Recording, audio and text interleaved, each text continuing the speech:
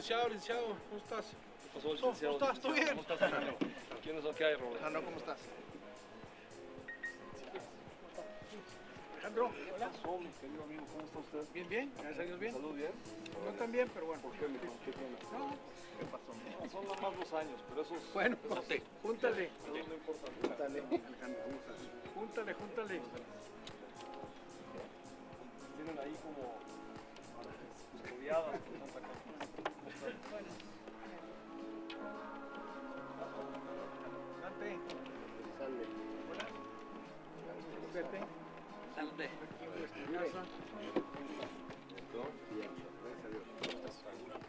Muy bien que abriste Camino. que abriste plaza, güey.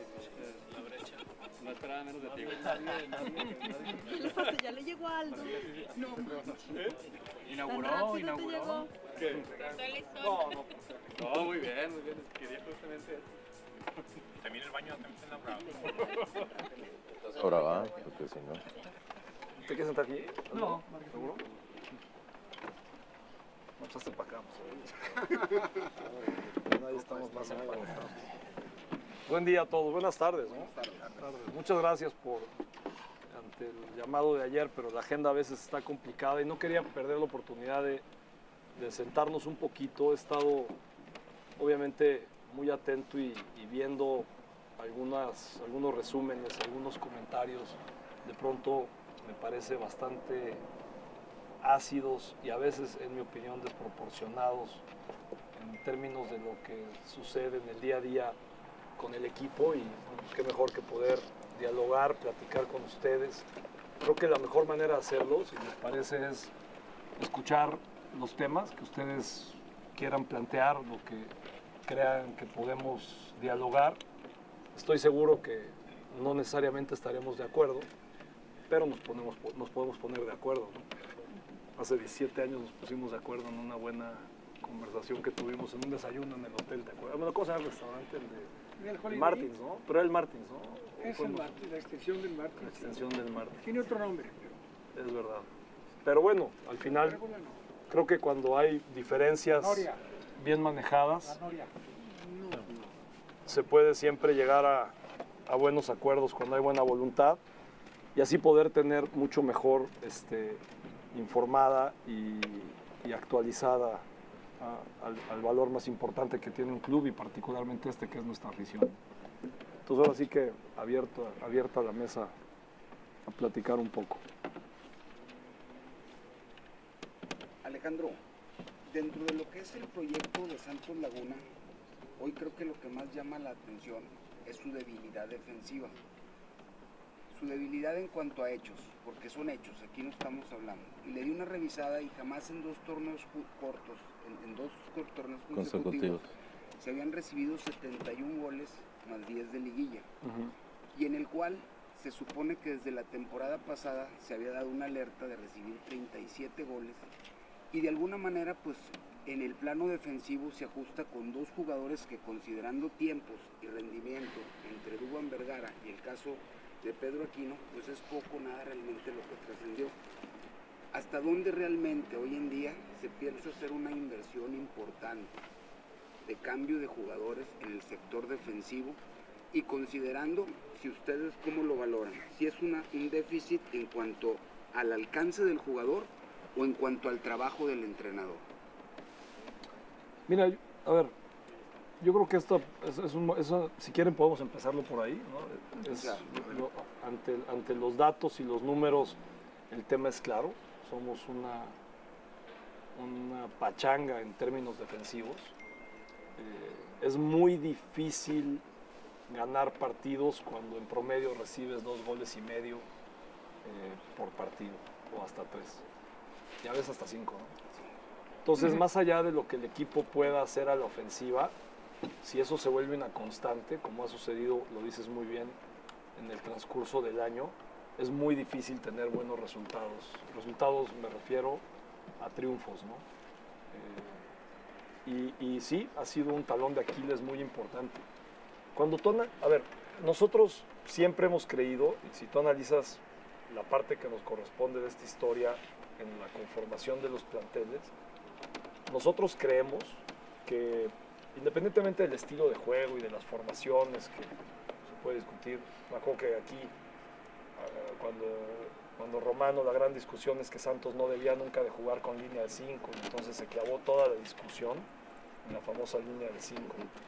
Te acordarás mucho de eso, Juan. Igual al final. Este, pero al final, la línea, o sea, hoy por hoy yo creo que las formaciones, esa formación, ¿no? si la línea 5, la línea 3 o la línea 4 o la que sea, este, es la menos relevante. Lo, lo- lo que sí es un hecho es que el sistema defensivo no funciona. Y, re- y regreso, para nosotros el- los equipos se construyen de atrás para adelante. En eso estamos convencidos. Eh, y siempre cuando hemos logrado tener eh, consistencia y éxitos, eh, ha, ha sido partiendo de ahí. Y esto empieza de la portería. ¿no? Y la portería empieza con los centrales y luego continúa con los laterales y luego con el medio campo y luego la labor defensiva que tienen que hacer los delanteros. Pues claramente en este año no hemos podido tener éxito en ese sentido. Entonces, cuando hablas de inversiones, es que ahí es donde creo que esto no funciona. bien. ¿Te acuerdas el famoso, y creo que fue con ustedes, ¿no? El de cómo no voy a estar encabronado. Bueno, Pues es que es la misma historia, cabrón. Porque yo veo, tú dices no hay inversiones, yo te digo, a ver, de desarrollo de fuerzas básicas, si ves la línea por la lateral izquierda, pues tenemos uno de los más deseados en el mercado y que, y que sigue aquí trabajando y que sigue aquí jugando. En términos de centrales, pues tienes al, al- al- al central, ah, voy a hablar de los, en teoría titular, porque en esto de, de titulares o no titulares, esto depende de lo que hace uno todos los días, no lo que dice el papel. Pero hablando del papel, tienes a- al- al- al central de la selección de Ecuador. Tienes a Mateus Doria, que es probablemente uno de los jugadores en los que más ha invertido el club en la historia. Y luego, por la lateral derecha, hemos hecho distintos cambios, pero la tienes suficientemente bien cubierta. Y luego en la portería, pues, tenemos un portero este, formado en casa, que ha tenido grandes éxitos, que lamentablemente tuvo una lesión, y nosotros creemos, o creíamos, porque claro, con el periódico del día siguiente está bien fácil, que la portería estaba bien cubierta y, y ahí empezó parte de todo este problema eh, en esas líneas. ¿no? Y luego la media cancha, lo que creo que tenemos es dos grandes eh, volantes eh, medios, que son eh, eh, con la incorporación de Aquino, y, y- y que, y que estábamos reforzando con ello de forma importante eh, el tema conservantes. ¿no? Entonces, claramente no funcionó, pero no funcionó porque no, no porque no invirtiéramos, no funcionó no porque ganemos pocos.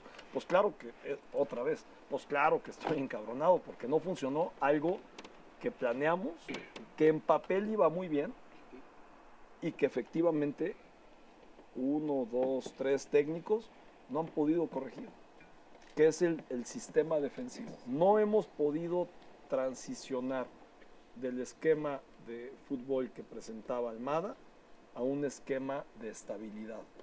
Cierto es que de media cancha para adelante pareciera que la historia es otra. Y lo más injusto que podríamos hacer es culpar a una línea o a un jugador en particular. Porque al final del día el fútbol es asociación y esto se trata de 11 jugadores haciendo responsabilidades ofensivas y responsabilidades defensivas. Pero si algo podemos criticarnos y ser autocríticos y que duele, yo sé que le duele la afición y nos duele a nosotros, es haber invertido, haber pagado lo que pagamos y haber obtenido los pobres resultados defensivos que obtuvimos. El tema es que siempre es mucho más fácil agarrar, ah, es que no invierten, es que no sé qué, es que si el Atlas, es que si el Sporting, no tiene nada que ver. A ver, nosotros seguimos operando y seguiré, mientras nosotros tengamos la responsabilidad de este gran club, vamos a operar en la misma línea, no va a cambiar. Nosotros tenemos parámetros de los ingresos que el club genera, lo que podemos invertir y gastar en, el plantel, pero eso lo tenemos Da risa cuando hablan, no, es que cuando modelo, cuando modelo era lo mismo, pues el que gestionaba era yo. A ver, yo tenía los números y los tengo, y ahí están todos los históricos de cómo operó este club durante todos estos 17 años. Oye, si, si incrementamos y mejoramos nuestros ingresos, lo cual tratamos de hacer todos los días, ¿podemos tener una mejor nómina? Sí, por supuesto que sí, y creo que la tenemos. Porque te voy a decir, encima de todo, por donde la veas, por transfer market, por este por nómina comparativa con los equipos, este equipo hoy debe ser la sexta o la séptima. Eso no tengas duda. Pero en funcionamiento fuimos la décima, ¿no? Calificamos el noveno, ¿no? Creo, este torneo en particular. Y en goles en contra fuimos el peor de todos, ¿no? En goles a favor creo que fuimos el tercero mejor. El segundo. El O el segundo. ¿no? Con, El eh, cuarto junto con San Luis. o el cuarto. Por eso. Sí, no, y aparte tuvieron algo importante, fue la mejor ofensiva de visita. De visita fueron los mejores ofensivamente. Pero, O sea, pero no puedes salir a pelear No. las peleas en el box así. Porque No, luego yo lo te- único que quiero te nomás clavan, puntualizar de lo que pregunto. La inversión está hecha, no funcionó. Ah, eso, está, eso Ese sí es, es, un el punto, problema. pero a Sí. lo que voy. ¿Qué viene precisamente en ese aspecto? No, El pues, trabajo del, del- del entrenador hoy en día es palpable que defensivamente el equipo no cumplió. correcto. Y en cuestión de los elementos que hoy tiene el club, pues tampoco, porque ya demostraron que en un año completo, básicamente la misma línea no funcionó. Sí, pero O sea, con, ¿qué tu teoría, con No. tu teoría Darwin Quintero se hubiera ido en el primer año, Janine Tavares se hubiera ido en el primer año. Si yo siguiera todas esas teorías que ustedes manejan, este, o siguiéramos en esta institución esas teorías, pues ni siquiera este estadio estaría construido. Entonces nosotros no podemos, yo entiendo, a ver, créeme una cosa, nuestro, nuestra pasión, nuestro compromiso y nuestro corazón está aquí puesto. Sí, Me duele en el alma lo que sucede y me duele en el alma no poderle dar satisfacciones a la opción, nos duele a todos. Pero el hecho de hacer cosas irracionales no es lo que va a resolver el tema de este club. Si tú me dices, vamos a romper los parámetros porque hoy hay mucho ruido en Twitter, no. Vamos a romper los parámetros porque en los programas hablan mal, no. Vamos a romper los parámetros porque hay una campaña orquestada para que la gente deje venir, pues no. Porque si rompemos esos parámetros, entonces el año que viene, o en dos o en tres, lo que va a suceder es que no nos va a poder ni siquiera invitar aquí a sentarnos a tomar agua, porque habremos gastado lo que no tenemos. Y nosotros no vemos el fútbol como vivir el momento presente, es como la, la cuesta esta de enero. ¿no? Ahorita ya viene la época navideña, estamos el último día de noviembre, suena muy bien, y entonces ahora todo el mundo a gastar y a festejar, y espérate, gasta lo que tienes y lo que puedes pagar. Porque si ahorita le damos toda la felicidad a nuestros hijos, y luego en enero tenemos que entregar la casa de regreso, pues no creo que sea la forma inteligente de construir, no al menos con la responsabilidad que nosotros lo vemos. Y entiendo perfecto, para la afición goles son amores y los triunfos son hermosos y ser campeones es la única alegría. No lo creo que sea tan así y por supuesto que nos encantaría hacerlo y lo vamos a buscar hacer todos los días, pero enfocados en el proceso, no en una... ¿Qué? ¿Qué pasaría?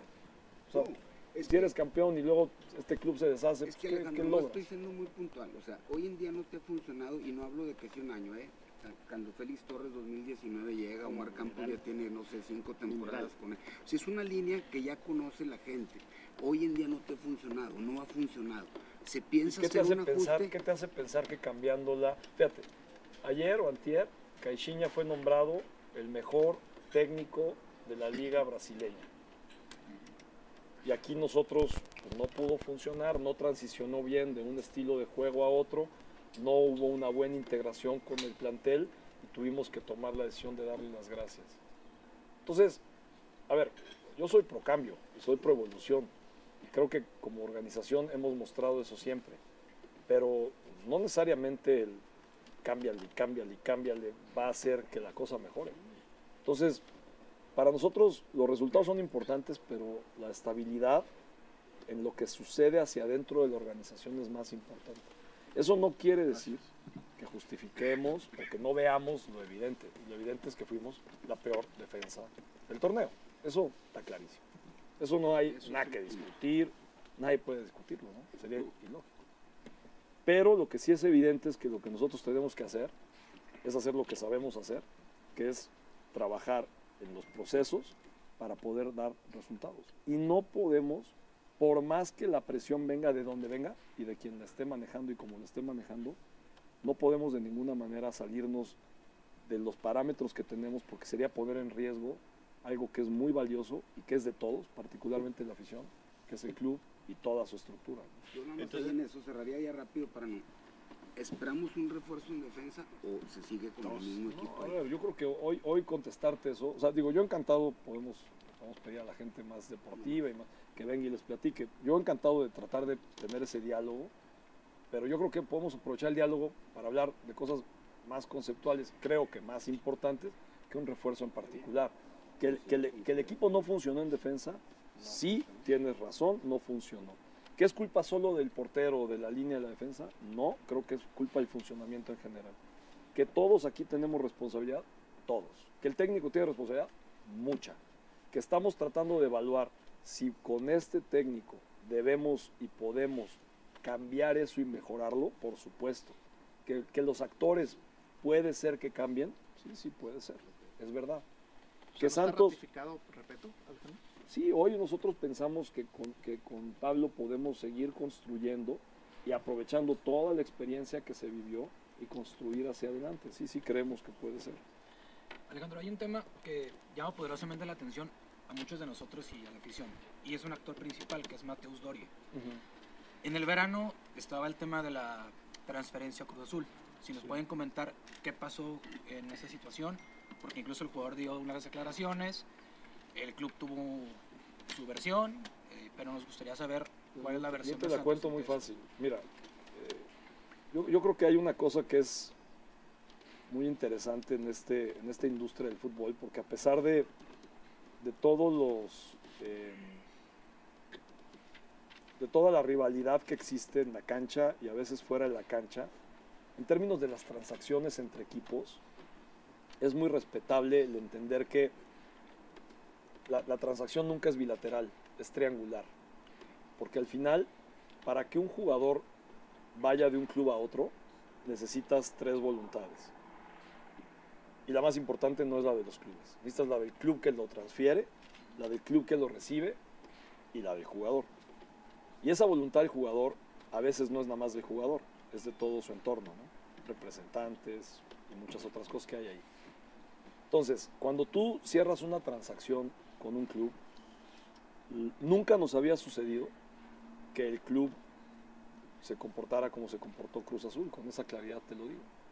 Eh, la transacción estaba acordada por nuestra parte, acordada en parte de ellos, y me imagino que es un club donde hay mucha gente que opina.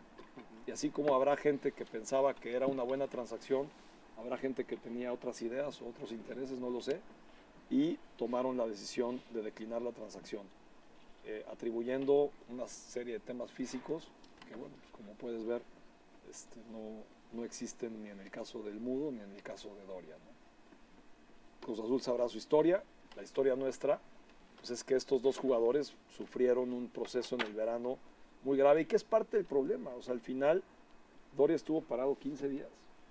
Algo así. fue. 10 días estuvo allá. 10 días parado y no y su, y su parte y en la parte medular de la pretemporada. Oye, es por eso que el equipo, no, no estoy diciendo que sea por eso, pero es parte del por qué no creo que Doria pudo integrarse y estar al nivel que debía estar. Entonces sí, sí hubo un daño de parte de Cruz Azul, claramente.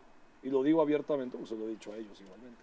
Y aparte que, si no me equivoco, Doria es el jugador extranjero, incluso creo que el segundo jugador de defensa central con más años en el club después de Rafa Figueroa, bajo tu gestión. Puede ser. Eh, según me fallan los, los datos, puede ser. Eh, Me sé mi fecha de aniversario, cuántos años llevo casado. bajo ese, ese concepto que te digo, eh, él está contemplado para que continúe muchos años más en el club o su ciclo está también próximo a cerrarse, porque también con otros casos que hemos visto, no sé, Araujo, Izquierdos, eh, por mencionar estos dos, su tiempo en el club fue menor.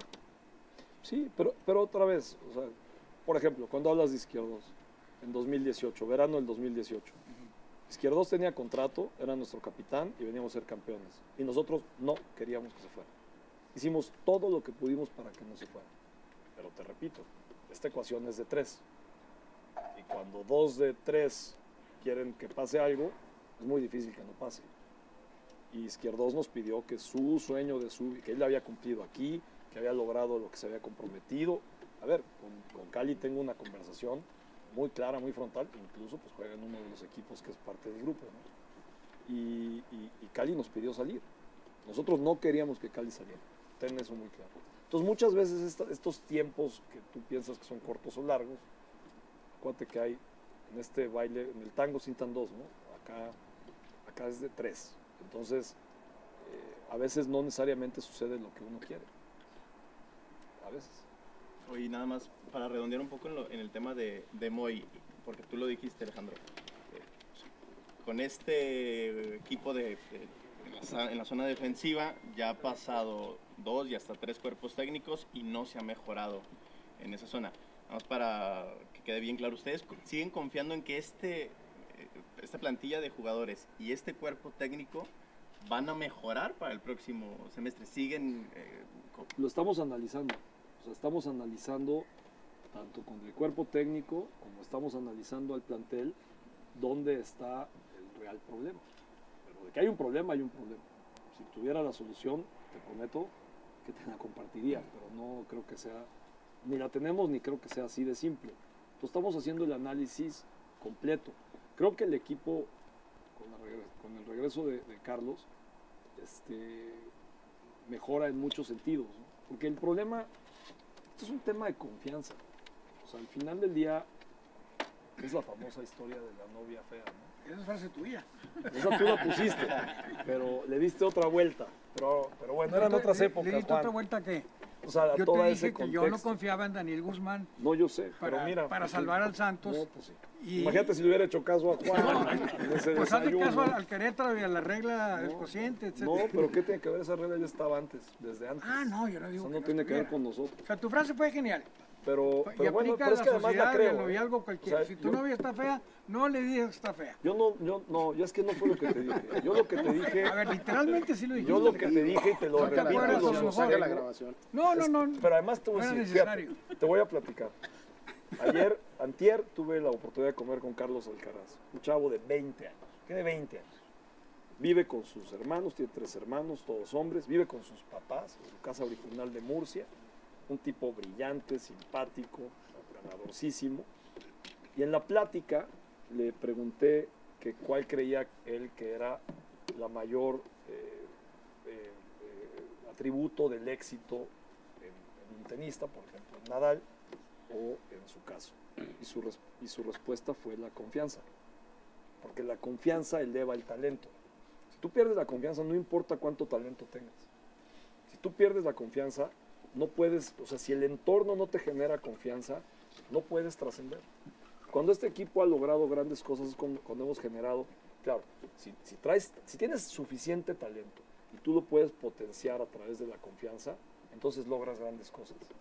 Y esa es la maravilla del fútbol, sobre todo el fútbol mexicano, porque claramente ni nunca hemos sido, ni creo que nunca vayamos a ser, porque no creo, verdaderamente no lo creo, no lo creo desde el 2006 y no lo creo hoy, que la laguna sea una tierra donde se pueda generar los ingresos que puede generar un equipo en Monterrey. Sería tonto. O sea, es más, si hubiera decidido seguirle el camino a Monterrey y tratar de hacer lo que esos equipos hacen, Tigres y Rayados, no hubiéramos llegado a ningún lado. Ni tendríamos esto probablemente. Pero creo que el hecho de que nosotros comprendemos que tenemos quiénes somos, dónde estamos y, y cómo podemos potencializar nuestras virtudes y mitigar nuestros defectos es lo que nos ha llevado a lograr lo mucho o lo poco que hemos logrado hasta hoy. También estoy convencido que va a ser lo que nos va a llevar a lograr lo que logremos de aquí en adelante. Entonces, si tú puedes generar esa confianza, pero se pierde la confianza y la confianza se pierde fallando un penal. O sea, hay jugadores que nunca se recuperaron de, de un penal fallado, O tres. luego también de tres. También. Pero ¿cómo generas esa confianza? La confianza es brutal. Entonces tu cabeza, fíjate, decía este cuate que él, que él tiene una regla que es la regla de los 10 segundos. En el tenis que es muy rápido, además es individual, es distinto al fútbol, ¿no? Pero decía, yo tengo 10 segundos, 5 para lamentarme y enojarme y 5 para convencerme que tengo la capacidad de hacer las cosas mejor. Y yo creo que es un poco así. Hoy nosotros estamos dentro de esos 10 segundos. Llamémosle esos 10 segundos, estos 15 días de planeación. Estamos en esos 10 segundos. Por cierto, no es cierto. Los primeros 5 ya se nos acabaron. Estamos en los segundos 5. Ya no hay que lamentarse, no podemos lamentarnos. Y qué bueno este- que Pero, en pero este- fíjate, estaría yo mucho más. No, la verdad es que teníamos un plantel que no tenía nada. Lo- Los jugadores tenían dos, dos piernas izquierdas. Bueno, pues lo- se, logró lo que se pudo. Estaría muy tranquilo. No, no estoy tranquilo porque teníamos un gran plantel, lo reconocemos. Y no logramos mucho menos que lo que debíamos haber logrado. En este análisis que, que mencionas, ¿hasta dónde va a llegar la confianza de, de ustedes hacia el cuerpo técnico de Pablo?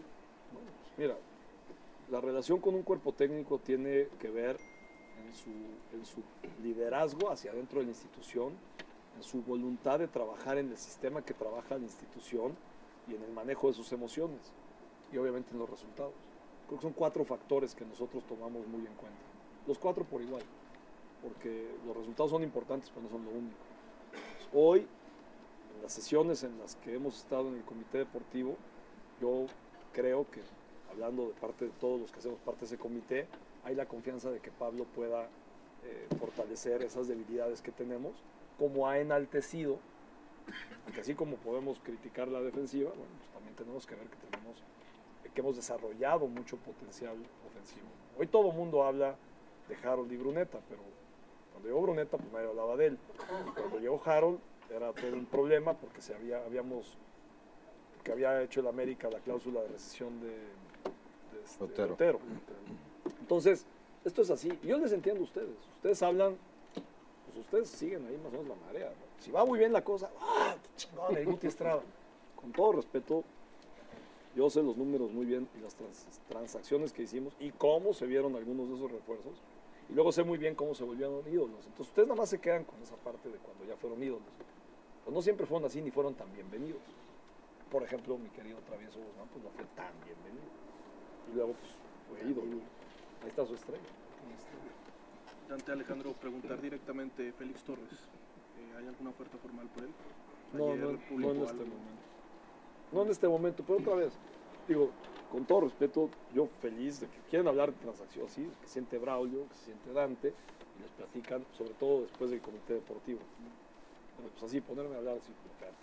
Con gusto y a nivel, a nivel directivo, o sea, ¿qué se ha hecho bien a lo largo del año y qué se ha hecho mal, ¿no? O para que hoy Santos haya sido el decimotercero del torneo anterior y el que se acaba de terminar ser el noveno, para que las tribunas, pues la verdad es que sí preocupa, ¿no? O que semana a semana hay 11.000 aficionados en este estadio, o sea, la tercera parte, pues sí preocupa, ¿no? Entonces, que a nivel directivo, qué buenas decisiones se han tomado, sobre todo qué malas o, o- o- o cuáles en autocrítica dirías, ¿sabes qué? Me equivoqué o nos equivocamos en esto. Mira, pues yo creo que este, no te quepa duda que esto aquí se toman muchas decisiones todos los días y empezando por mí cometo probablemente más errores de los aciertos que, cometo. Aquí, el tema está en ser capaz de reconocer tus errores y trabajar ante ellos y enaltecer las, los aciertos que puedas cometer. Yo al revés, yo les preguntaría a ustedes, ¿no? ¿Qué, qué, qué, ¿de dónde surge toda esta percepción tan adversa hacia el entorno de Santos? Esa, esa, es, esa creo que sería la mejor pregunta, porque al final la gente ve, o sea, normalmente ves la punta del iceberg, ¿no? Y la punta del iceberg es, la defines bien rápido, fracasó, o sea, es binaria, éxito o fracaso. No, creo que la vida sea tan así, ¿no? El fútbol tiene este tema de, de que, de que el, triunfo pareciera la, única, la, única victoria, y yo creo que no es así. Yo creo que esta institución, por supuesto que es fundamental su primer equipo, claro que lo es, pero tiene toda una pirámide de cosas que suceden aquí todos los días, que son igual o más importantes que eso. Claro, otra vez, nuestra responsabilidad con la afición es demostrarles un equipo que los represente, ganando, perdiendo o empatando, pero que los represente y del cual se sientan identificados y que les dé alegrías. Esa es nuestra responsabilidad. ¿Lo hicimos en el año? No, no lo hicimos. Está clarísimo. Entonces, en esa materia tenemos cero. Está claro. Pero estamos conscientes y tendremos que hacer lo que tengamos que hacer para que en ese pedazo, en ese tema de performance, el equipo siempre tiene que estar a un mejor nivel. Aquí hay varios que juegan golf, con algunos de ustedes he jugado. Si tú sales a jugar golf y eres, no sé, 10 de handicap y, y- y- y en esa jugada haces, juegas como 13 de handicap, pues hiciste muy mal. Si juegas 10, pues es lo que esperabas. Si haces 8 de handicap en esa jugada, entonces estás por encima. Y este equipo y esta región creo que se destaca en sus 120 años, Santos en sus 40, de estar siempre por encima de su handicap. Sí. Y hemos estado por abajo. Entonces, si somos la sexta nómina y plantilla del país y hemos terminado en noveno y en treceavo, pues está bien claro. Si fuéramos la 18 y terminábamos en noveno y en treceavo, pues, abriríamos regalos hoy navideños, ¿no? Pero no es el caso, no es el caso. Entonces probablemente, y luego creo que hay muchas, a ver, la percepción mata la realidad. Y entonces creo que, que, que se ha generado un distanciamiento, pues por falta de entendimiento de, de- y mala información tal vez de lo que sucede en el entorno de Santos. Entonces, a ver, aquí nada ha cambiado. Bueno, sí ha cambiado, ¿no? Han cambiado muchas cosas, pero, pero nada ha cambiado estructuralmente. A Santos no, sería padrísimo venir a sentarnos aquí y decirte, no, mira, sí, a Santos lo debilita la adquisición de Orlegui de Atlas. No es cierto. A Santos lo debilita la adquisición de Orlegui del Sporting. No es cierto, lo fortalece, de hecho, en muchos sentidos. Este, porque podemos generar más recursos, porque podemos generar sinergias que te hacen ser más eficiente en muchas cosas. Santos lo mató no poder estar arriba de su handicap y estar abajo de su handicap. Porque esa es la realidad. tú como, como líder de, de este proyecto, de, esta, de estas empresas, ¿qué ideas has presentado a la mesa para revertir estos resultados de este último año? Pero te refieres a Santos en Sí, particular. en Santos. ¿Qué ideas he presentado en términos de fútbol? De fútbol, de lo que... O para poder revertir esta situación, tanto futbolísticamente como la- el acercamiento a la afición. Es que, es que acuérdate que hay, hay una máxima que es muy buena, ¿no? Que, que- es buena usar, ¿no? No puedes, te ayudo, no sabes, te enseño, no quieres, te vas, ¿no? Entonces, ¿cómo mides? O sea, si tú mides al plantel en lo individual por el talento de cada uno de sus jugadores, creo que tenemos un gran plantel. Tú lo dijiste, ¿no? Al principio de este torneo. Este, y, y verdaderamente lo creo. Y me acuerdo que dijiste algo como que la, fra- la frase fue, el, el trabajo de pantalón largo se ha hecho, porque hicimos inversiones importantes.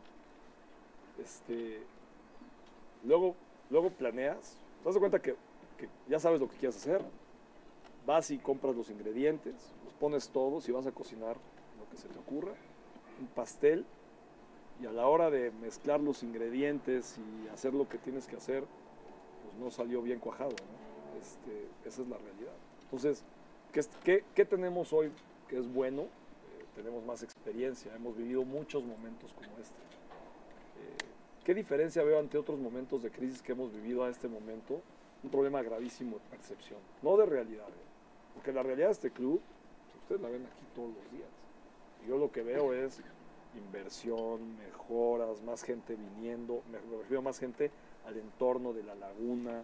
Eh, de irse aquí altísimos directivos de Santander con los que hicimos una visita muy importante esta mañana. Eh, traemos todo el proyecto de TCM 2.0 donde vamos a invertir más de 200 millones de pesos en los siguientes dos años en esta, en eso nadie lo habla y en junio yo estuve aquí y, y hablamos y, y estuvieron aquí patrocinadores renovamos con Charlie por seis años renovamos con Peñoles renovamos con Lala renova- o sea, el club está montado en una estructura muy positiva hacia adelante si este, si este resbalón, por llamarle así, este, deportivo, va a marcar la línea de los siguientes 10 años, pues sería muy, sería muy tonto pensarlo. El club está montado en una estructura muy sólida, con va- todo lo que tenemos. va más allá de resultados. Me, me- me parece que el problema es de identidad con la gente. Es la percepción que yo tengo, hablo de percepción. Pero es local, ¿eh? Porque a nivel, a nivel nacional yo veo todo Pero bueno, al final contrario. Porque te voy a las tribunas a se ver, llenan con gente loca. Bueno, sí Claro. está bien, pero, pero a nivel nacional yo veo un tema, o sea, el problema de percepción lo tenemos aquí. A nivel nacional yo te digo, mira, renovamos Televisa Univisión hasta el 2030, 2030. Renovamos Charlie hasta el 2030. Estamos negociando con, con los demás patrocinadores fundadores. Renovamos Soriana, perdón, Lala. Renovamos Peñoles. Soriana está hasta el 2030. A ver, yo- o sea, yo veo un entorno muy positivo en el contexto de Santos, salvo, por supuesto, en su defensa, en los goles en contra, y, este, y en la percepción. Y por eso me interesa escucharles. ¿De dónde viene toda esa percepción? Porque ahora hablan, digo, está toda madre tu básquetbol, mi querido Robert, pero pues con todo respeto, cabrón, pues, les deseo muchísima suerte este, construyendo lo que aquí se ha construido. Y, está muy bien, qué bueno, nos encanta que haya más deporte, porque el deporte genera entretenimiento, es, es fundamental. Una, estructura, un- una ciudad, una región como esta, con más deporte, todo eso es positivo. O sea, al revés, nos da un gusto, pero enorme que haya más deporte y el éxito del béisbol es fundamental. Qué bueno que esté muy bien. Pero qué malo que la percepción ante Santos, que está generando inversión, que está generando derrama económica, que todos los días genera más empleo, de donde surgen, de donde surge nuestro modelo y donde hay en servicios compartidos trabajando mucha gente de la región. Pues la generación de empleo aquí es brutal.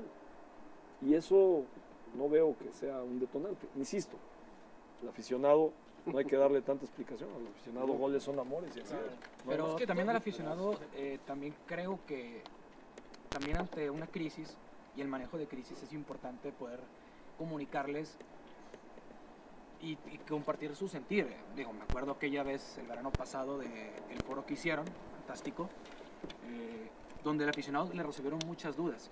Pero a fin de cuentas, la percepción no creo que venga tanto de lo que podemos decir nosotros, sino ellos, porque quiero pensar que en un club de fútbol lo más importante no son ni los colores ni el escudo, sino los aficionados.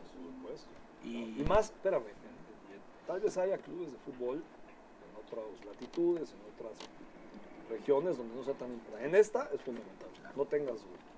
y por ende siento yo y creo que muchos compartimos que hay muchas dudas en la percepción, o sea, nos lo preguntas a nosotros, es que la respuesta también la queremos de ustedes, o sea, por eso No, bueno, pues por eso estoy aquí, por eso quiero platicar y dialogar y entender de dónde viene. Porque, al fin de final, cuentas para ellos. o sea, lo- otra vez, velo desde mi silla un poco, ¿no? analiza el contexto y el entorno. Entonces, haz de cuenta que eres un cuerpo y empiezas a revisar y dices, algo está mal, pero me siento mal, pero no sé de qué, ¿no? Entonces yo agarro y digo, a ver, ¿cómo está el entorno nacional? No, pues ahí no hay tema. ¿Cómo está nuestra relación con televisor? No, pues ahí está muy bien. ¿Cómo está nuestra relación con patrocinadores? No, pues está muy bien. ¿Qué piensan de nosotros a nivel nacional? No, pues puras maravillas. El programa este que hizo Televisa eh, bajo presión, ¿qué, qué mueve? ¿Qué inspira? Recorres estas, estas instalaciones con quien sea de este mundo, con quien sea, y te dice, explícame qué demonios pasó aquí y cómo construyeron esto. Este, entonces yo digo, a ver, pero, entonces, pero me sigo sintiendo mal, porque eso es una realidad. Hay una mala percepción entre la afición la comarca lagunera y el equipo. Esa es una realidad. Pero no encuentro la causa. O sea, no, no veo, a ver, oye, si la causa es que tuvimos un año con mala defensa, y si esa es la causa, la única, bueno, pues está bien claro lo que hay que hacer. ¿verdad? Y además hay que hacerlo, de todas maneras. Entonces, A ver, pero no creo que sea la única. No, no, no, yo que para mí es algo pensar más es de fondo. Y todos quién se está mañana. beneficiando de todo esto y qué está pasando. Porque ustedes, a ver, ustedes yo entiendo que tienen bastante acceso aquí, que tenemos un área de prensa, y si no Aldo, vamos a tener que pasarlo aquí al calabozo, este, que nos atiende, tratamos de comunicar en la medida de lo que podemos. Ya saben que no nos gusta especular, que no tratamos de filtrar notas como hacen otros. Eso, eso- pero eso ha sido hace 17 años, ya nos conocemos un chorro, ¿no? Claro. Pero hay, hay algo, hay algo, no está funcionando. Entonces la pregunta es, el ¿estamos jugando un teléfono descompuesto tal vez? O sea, la manera en que comunicamos, la que ustedes lo reciben y la que ustedes lo comunican a la afición, no está funcionando. Tal vez, no Eh, yo- sé, no, no, no puedo juz- yo no es la única razón, pero puede haber. un poquito quizá los, a los resultados, ¿no? Digo, de, de ahorita que hablamos de la percepción.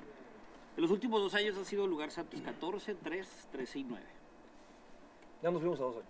Dos años. Eh, Un poquito, o está un poquito más atrás. De los últimos 10 torneos, solo uno se ha pasado a los cuartos de final. Y en Liguilla te ha eliminado tres veces Tigres, digo, tres veces Monterrey y una vez Tigres. En parte de esta percepción, ¿no cree que Santos le ha costado competir actualmente? Pues claro, y te voy a decir una cosa, entre, entre más avance esto, peor es. Y desafortunadamente el pero a ver, aficionado se compara mucho. Yo, yo te como les- pregunto, está todísima madre, 10 mil personas como dices en el estadio, mientras Tigres tiene 50 mil. Está bien, está muy bien. O sea, seguramente vamos a poder competir mejor, güey. Es bien probable que le podamos dar la vuelta. Pues no es así. O sea, y, y- y al final del día, la distancia entre los clubes en términos de ingresos, por supuesto que ha hecho una brecha eh, muy importante y, y eso es, es normal. Gracias a Dios no tenemos las brechas que se tienen en otros fútboles, por En ejemplo en. España. O sea, en España la brecha es 15 a 1 y no hay liguilla. Entonces, yo te pregunto, la Liga Española, más allá que ahora el Girona, entiendo que va muy bien. Por cierto, porque es par- parte de una estructura multiequipo, ¿no? Manchester City. Habría que entender bien eso. O sea, no es standalone, no es un equipo solito que está así, que hizo un milagro. ¿no? Es parte de una estructura multiequipo con todas las proporciones guardadas, muy similar a la nuestra. Este, con, con mucho, Muchos millones. con mucho petróleo, pero muy similar a la nuestra. Este, y, y al final del día, en base a eso, de repente puede pasar. Pero 15 a 1 es imposible. Sí, tal vez hace, no sé, chance hace 5 años la diferencia era 3 a 1, hoy la diferencia puede ser que sea 5 a 1.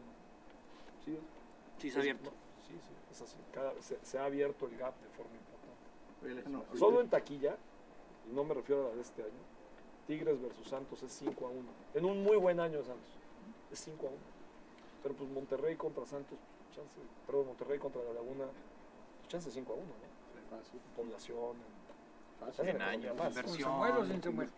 Eso sí. densidad poblacional también. Es que yo, yo tengo un ejemplo, por ejemplo, no sé todos, hoy o mañana que salgamos al aire y vamos a hablar de que estuvimos contigo y que platicaste de la renovación con Charlie, la relación con los patrocinadores, que el equipo está funcionando eh, financieramente bien y está protegido. ¿Sabes qué nos va a costar la gente? Y no sé, lo van- ahorita preguntamos. ¿Y los refuerzos? O sea. ¿quiere decir que va a haber más refuerzos? O sea, ese chip la gente no lo entiende, la gente no le, con todo respeto. Si entonces, lo entiende, eso es no lo lo que- acepta. Exacto. Entonces, ¿cómo, cómo Yo- llegarle a la gente en esa especialidad? Hey, tiene un equipo profesional, sano, financieramente hablando, que va a estar aquí en un estadio importantísimo y que no tengan esa percepción, hablando de esta palabra, de es que no hay lana, está quebrado y tal. Pues es Entonces, que una vez que ya, como es, es este proverbio este, que es judío, del de las almohadas y las plumas, ¿no? La pena que lo lean, es muy bueno. Una vez que ya te paraste en el cerro y abriste la, la- la almohada de plumas y volaron las plumas, ¿cómo le haces para recoger todas las plumas que cayeron por todos lados? No, fácil no está, arreglar el problema de percepción.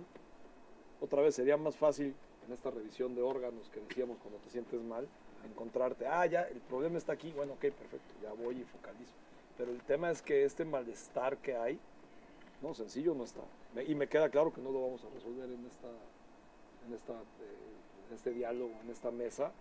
Ni, lo que sí estamos haciendo es, creo que dialogándolo y reconociéndolo y entendiendo lo que tenemos que hacer. Porque otra vez yo, yo te pregunto algo, y si, oh, si el hubiera no existe, ¿no? Pero si el penal era penal y entonces en los penales Santos hubiera avanzado y hubieras jugado ayer, eh, seguramente hubiera sido así, contra el América y hoy estuviera todo bien, ¿de verdad eso hubiera cambiado todo? No.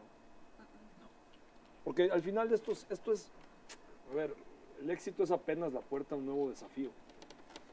Y mal terminas de ser campeón cuando al día siguiente tienes que ponerte a trabajar. Esta cosa no para. Y, el- y el- y la pasión de la afición, gracias a Dios, no tiene límites. Para lo bueno y para lo malo. claro. no tiene límites. Entonces sí, tenemos una tarea muy grande, hoy con una percepción negativa, con ello con un entorno negativo que genera desconfianza, tenemos una tarea muy grande para poder regenerar esa confianza. Y es que ser el hermano mayor, con todo respeto, a veces es medio incómodo, ¿no? Porque, por ejemplo, este año te volviste referencia en ese aspecto. Santos, el hermano mayor, así lo veo, en la laguna, en el deporte, aunque Boneros tenga más lo que tú quieras.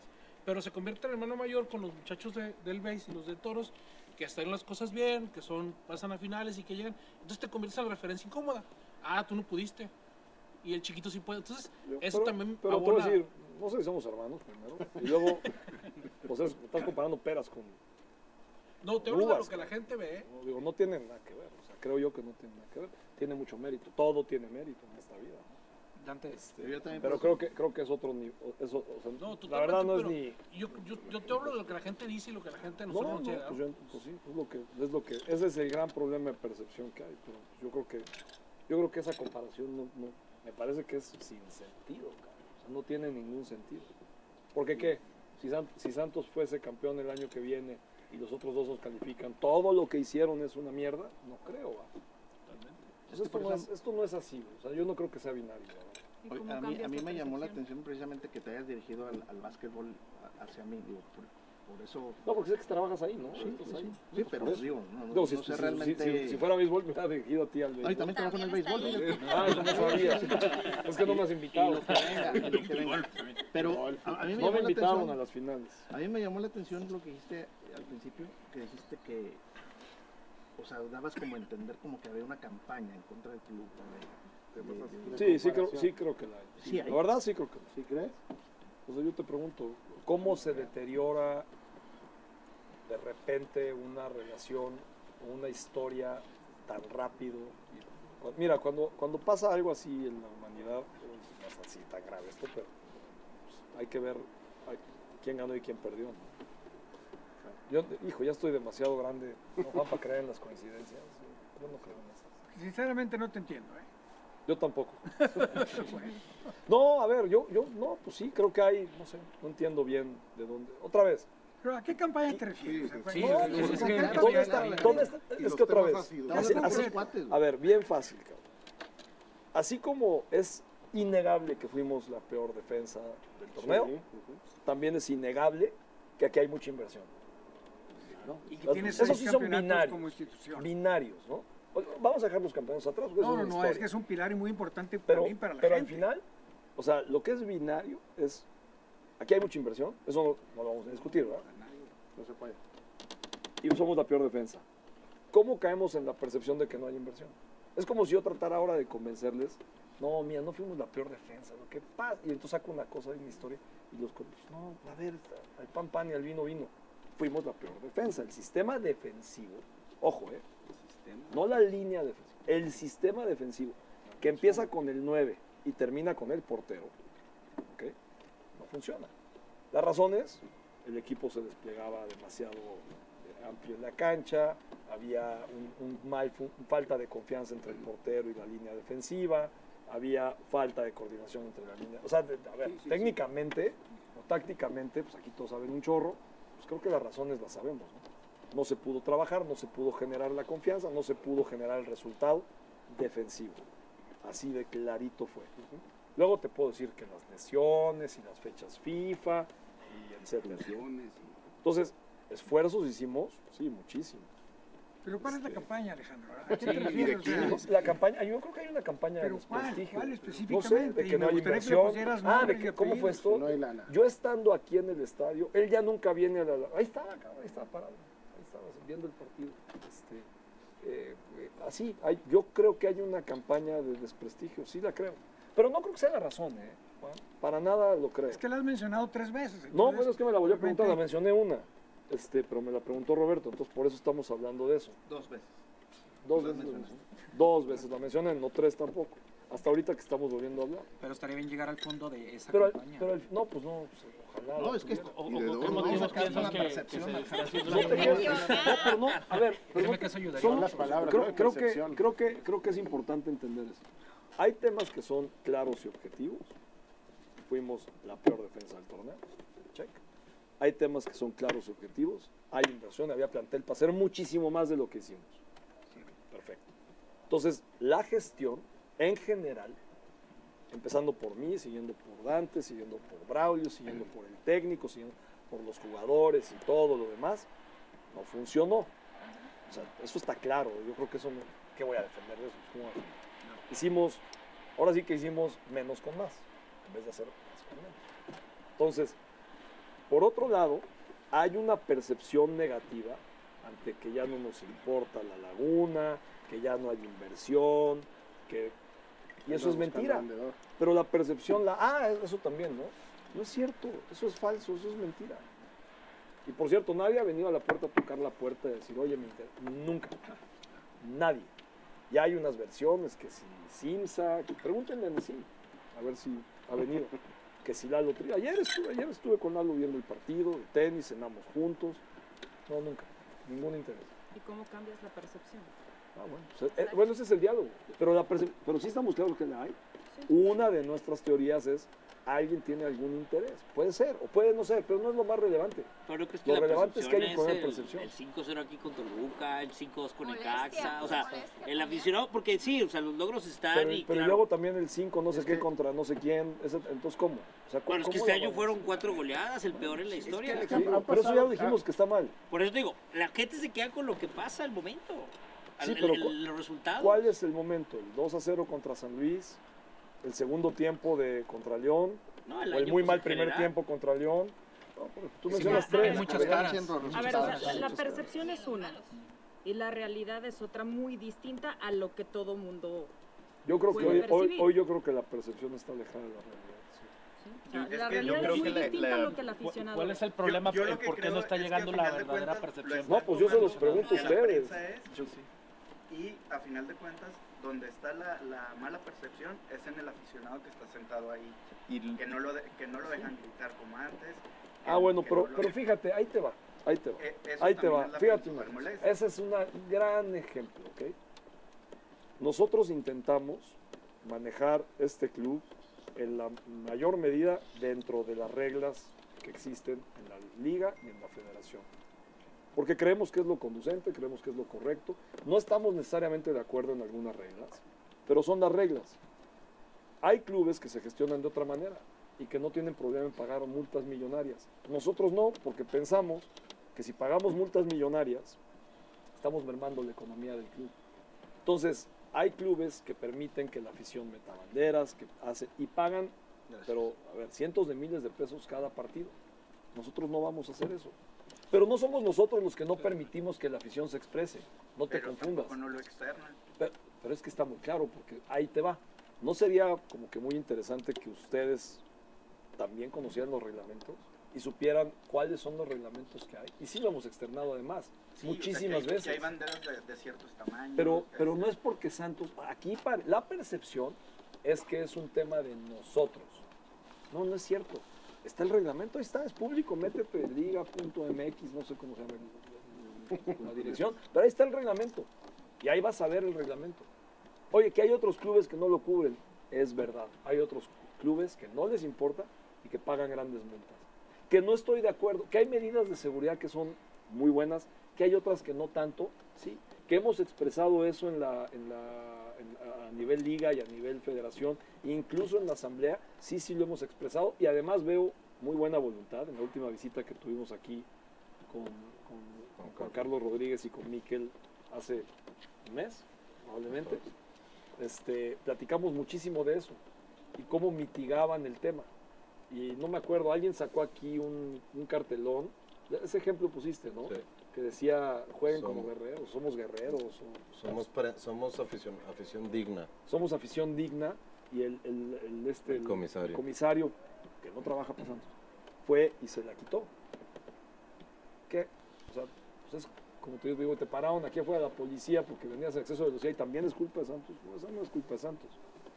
Pero es- esa es la, la- la regulación. Oye, Entonces, yo, yo creo que en- pero hay una mala percepción porque la afición cree que somos nosotros y no somos ¿Y qué nosotros. ¿y cómo oportunidad te crees que hace- podamos eh, aportar tal vez nosotros? Porque, ojo, no vamos a estar ni en favor ni en contra. A fin de cuentas creo que muchos somos partidarios. O sea, criticamos lo que hay que criticar y reconocemos lo que tenemos que reconocer. Pero ¿de qué manera crees que podamos aportar, no ayudar, aportar para que esa percepción cambie? Bueno, a ver, yo, yo creo que, y, y ojo, ¿eh? Este, y si te sentiste acusado, Robert, no, yo no te estoy acusando. O sea, te, te usé el ejemplo del básquetbol porque no sabía que estás en el béisbol, me has invitado a. Este, No, pensé que lo, como lo, que lo menospreciabas. no, ¿eh? no, no, no, para nada, para nada. No, no, no, además, ¿cómo? Además, creo, creo que si, si algo somos es promotores del deporte, invertimos mucho en eso. Este, en todos los sentidos, en carreras, en torneos, en la Copa Santos Peñoles, eh, ayer en el tenis, en muchas cosas. Que lo vemos como un mecanismo verdaderamente de generación de valor social. Pero, pero al final, yo no, yo no, no estoy hablando de un complot, obviamente no, pero estoy hablando de que, de que hay una percepción muy alejada de la realidad. Y que, y que puede ser que parte de eso provenga de que no hemos logrado con ustedes mantener un diálogo abierto. Y otra vez, yo no te estoy tratando de convencer de que tengo razón en que el recorrido del lateral izquierdo, estamos hablando de eso. Chance no, no nos vamos a ni a poner de acuerdo. pero podemos llegar a acuerdos. Entonces, si tenemos mesas de diálogo como la que, pues a ver, lo inventamos hace mucho tiempo, ¿no? Las reuniones esas eran en el Crown Plaza, no teníamos dónde, obviamente no había dónde, entonces las hacíamos en salones de los hoteles y era una reunión, no me acuerdo, este, era desayuno, Desayuno, desayuno. y luego hicimos comidas, y luego en teoría había una reunión eh, Semestral. semestral. Luego meriendas también aquí. El tema no está en cómo, en las ganas, está en la voluntad. Entonces, ¿cómo partimos por el bien de la afición, por el bien del club y por el bien de la región? ¿Cómo? Creo que la propuesta, sí, esa sí pues una propuesta escrita. ¿Cómo partimos a que podamos reconstruir una forma de dialogar entre nosotros? Dialogar, no llegar a acuerdos, dialogar. Y que, y que así como ustedes puede ser que vean y visualicen y critiquen una forma de ver las cosas, tengan también el sustento para mediar entre eso de la forma en que se ve de otro ángulo. Que al final hay mil ángulos para ver las cosas. ¿no? Pero si los compartes y los mezclas, pues puedes llegar a mejores conclusiones. Alejandro, Por yo no ejemplo, sé si sea coincidencia, pero el equipo se sentía más cómodo jugando de visitante y los hechos lo demuestran, ¿eh? O sea, pensando en su afición. Yo te puedo decir, Cruz Azul, más nadie le hizo tres goles al América en su casa. Nadie. Le fue a toser y le pudo hacer cuatro o cinco. Eh, lo ves con Tigres, lo ves, o sea, en general el equipo se siente, y aquí vienes a casa, pierdes con Querétaro, pierdes con Necaxa, o sea, son cosas en las cuales son cosas muy puntuales, o sea, a lo que voy. No sé si esa es una parte, jóvenes, ¿qué tan sí, incómodos Mauro. están con su afición? Seguramente equipo? sí. ¿Qué tan, tan, o sea, porque eso es muy palpable, tú ves un equipo totalmente suelto, viendo y va, y ves aquí Seguramente, el equipo seguramente sí. nervioso, como que es una parte... No Pero ¿cómo te sentirías tú? No, no. Pregúntale a Moy, tu hijo, No, no, cómo, se claro. sien- cómo, Claro, es una cómo te puedes llegar a sentir. Y, y a ver, est- esto que estás diciendo no es una cosa nada más de Santos. Yo creo que ha pasado en, Pasa en todas las pasa en, muchas canchas, en muchas historias, cuando, cuando hay un, una desconexión o un descontento. Pero déjame nomás termino una ahí. ruptura. Esta parte en el análisis de lo que tú mencionas del cuerpo técnico y lo dijiste también, desde que Almada se fue de una u otra manera, y no quiero entrar en pasado, quiero nada más decir en formas de juego. A pesar de la presión que existía en aquel tiempo y con un plantel que a veces no se tenía ni los mismos elementos que hoy se tiene, el equipo era atrevido, el equipo era pro- proponía, el equipo Sí, iba y el equipo a la gente en esa percepción, porque era el equipo, es que nosotros Alejandro, yo creo que ahí tenemos un paréntesis. Yo no estoy de acuerdo en nosotros, porque si algo nos interesa a nosotros es que esto funcione, a nosotros también nos va mejor, en todos los aspectos. A mí en lo particular me va mejor si el equipo funciona. Entonces, yo nunca voy a tratar, tampoco mi idea es que yo lo que perciba o lo que vea, decirle otra cosa a la gente.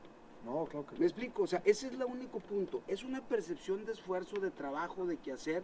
Y si algo puede ser en el análisis, en mi punto de vista, decir, jóvenes, ¿qué pasa? O sea, su afición es la que de alguna manera nos soporta a ustedes como ingreso y a, y a ustedes como jugadores.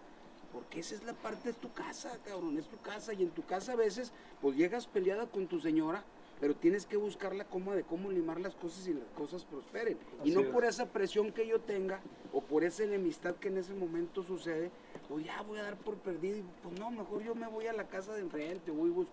No, cabrón, o sea, entonces yo lo que percibo ahí, yo creo que en el análisis de ustedes, eso es lo que al final de cuentas es lo que va a trascender aquí, es realmente hasta dónde el líder de este equipo tiene esa gran virtud para poder tener la ascendencia de que esa confianza regrese y que esa confianza se dé.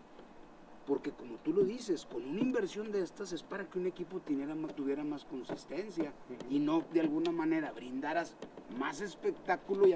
Porque esto es de percepción y tú bien lo dices, es percepción de tu afición, es percepción del seguidor. Y si alguien, yo te lo digo porque así la gente lo siente, si creo que una afición realmente está atrás de su equipo, es esta, ¿eh? Es esta. Independientemente que a veces no está de acuerdo en que se acostumbró, que esto yo creo que también ustedes lo analizan, se acostumbró a esas contrataciones y se acostumbró Pero a ese ¿cuál es? tipo. ¿Qué- O sea, llamémosle, es que en Es que serio, ya ves, es que ahí es espérame. donde, ahí es No, donde, espérame, donde ahí, Alejandro. ahí ya, Ahí ahí donde ya. podríamos no, construir no, no, modificaciones. espérame, espérame. Va- No, es que, es que espera, porque si no nos vamos a ver. Déjame Sí, sí, claro. una pausa. Sí, sí. Una pausita y Sí, ahorita sí, regreso. claro.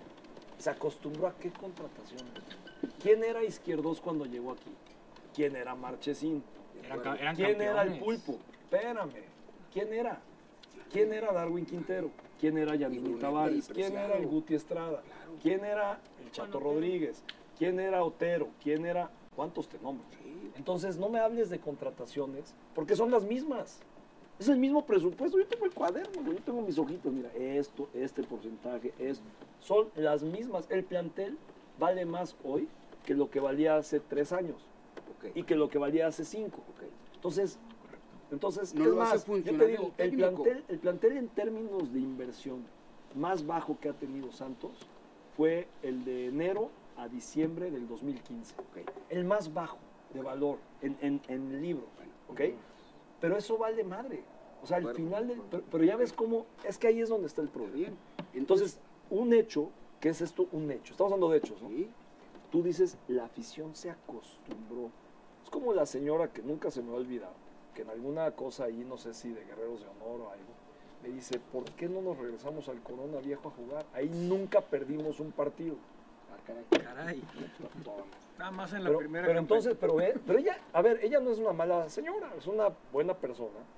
que- Santista. Que, santista, que tiene una añoranza y que se confundió con una percepción equivocada de una realidad, como lo que tú acabas de decir. Ahí es donde se Nos podemos acostumbraron a grandes Pres- a ver, contrataciones. tal vez fue una mala expresión, yo te diría. No, es que- en ese es que análisis, por eso, ahí en ese análisis, es entonces decir, si tú estás poniendo en la mesa que tienes los jugadores no somos, adecuados. muy, muy, no somos tigres, yo sé, ni vamos a ser yo lo sé, O sea, y, Alejandro. y si quisiéramos ser tigres, esto es como si en los superhéroes el eh, Spider-Man quiere ser Superman. No, güey, ese güey no puede volar, ese güey tiene que aventar una telaraña y colgar así. a- Ese es su poder, ese es su superpoder. ¿Cuál es el superpoder? ¿Cuál es el superpoder aquí? Espérame, voy, nomás. ¿Cuál es el superpoder aquí? sí. El superpoder aquí es adaptación, es confianza, es la tranquilidad que genera esta ciudad para los jugadores y sus familias en muchos momentos. En algunos otros no fue tanto, pero hoy lo es. Y, y mucha, históricamente lo fue.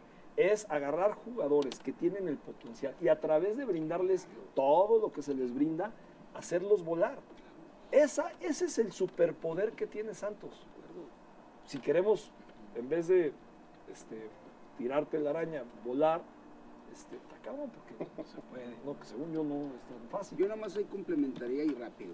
El hecho de que si tú le estás ofreciendo este plantel a, a estos técnicos, tanto a Fentanes como el caso particular de Repeto, y tus resultados no se dan, entonces la capacidad de quien te los dirige, en este caso un de los 33 puntos del torneo de, de Fentanes, y que hoy en día la ascendencia y la percepción sigue siendo que no es la adecuada para la afición, por el desempeño que tú puedas ver en el campo, entonces algo está pasando con tu técnico. Bueno, pero ya lo reconocimos. ¿no? Sí, sí, sí. O sea, pero eso no está ni en discusión.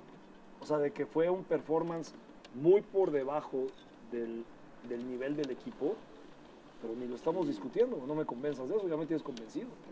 ¿Y Así empezamos, ¿no? ¿Cuáles fueron entonces los parámetros o, o lo que se toma en cuenta para darle, para decirle Pablo, continúa? Te vuelvo a repetir, su liderazgo hacia el plantel, su, su apego a lo que la institución busca hacia el futuro, su capacidad de reconocer en qué estamos mal y cómo reconvertir en lo que, en lo que estamos, en lo que, cómo reconvertir eso que estamos mal a, lo- a- a algo que está bien y su voluntad, porque al final El uso de las herramientas del club también es bien importante. eso para nosotros es fundamental. Entonces, claro, Más, más allá del en seis resultado. meses podemos estar aquí siendo la mejor defensa del campeonato o la peor defensa del campeonato. Ojalá sea esta. Y entonces pues, podremos juzgarlo.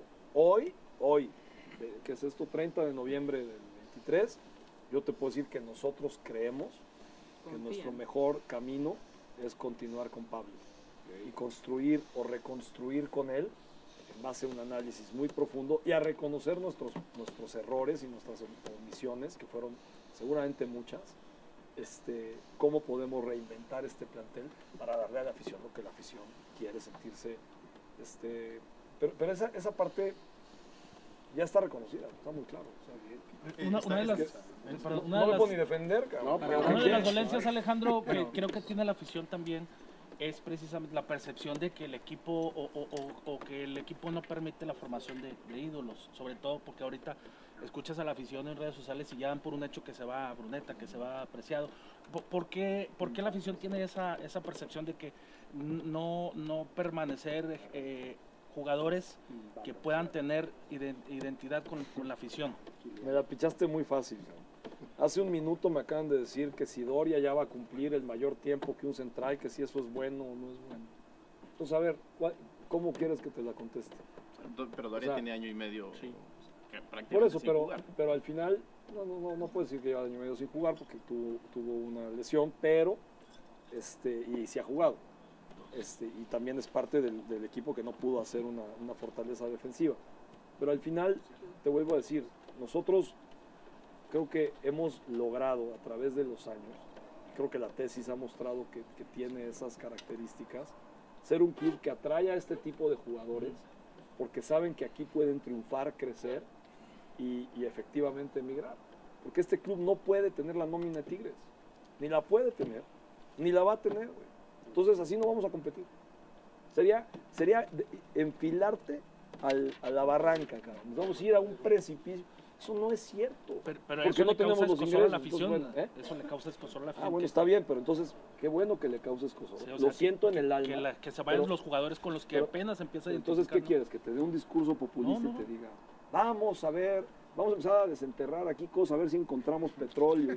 No es cierto, güey. O sea, a ver, la diferencia de ingresos entre Santos y Tigres, lo han puesto ustedes de ejemplo y vamos a aprovecharlo, es hoy probablemente 3 o 4 a 1. Sí, sí, Ya, sí. así de sencillo. Entonces, ante esas condiciones tenemos que competir. Qué bueno que la Liga Mexicana promueve lo que a algunos les encanta. Yo veo en el fútbol americano que le gana no sé qué equipo que no es tan bueno a Dallas Cowboys, ¿no? Lleva desde el 95 sin ser campeón. 28 años. Entiendo que es la franquicia más valiosa, tiene el mejor estadio, lo, construyó, lo diseñaron los mismos arquitectos que el nuestro, HKS, tiene los mejores jugadores, la marca más valiosa, 28 años, ¿no? Sin ser campeón. Bueno, está bien. Pero yo veo- nunca he visto que digan liga mediocre, ¿no? Nunca he oído eso. Acá, oye, güey, qué buena onda que tengamos una liga donde sí, pues hay unos que tienen más recursos que pueden invertir mejor, o que pueden invertir más, no mejor. Y luego vemos otros que podemos competir. A mí me parece muy bueno que, que- que de una ciudad, ¿qué ciudad seremos en México? ¿Qué número de ciudad seremos? Depende del indicador, pero 10. Hay algo que me gustaría preguntarte a ti, Dante, eh, es sobre una percepción que me parece que está muy descontrolada de parte de, sobre todo en redes sociales, que es donde más se logra leer y ver que es en contra de ti, que Dante esto, que Dante aquello, que...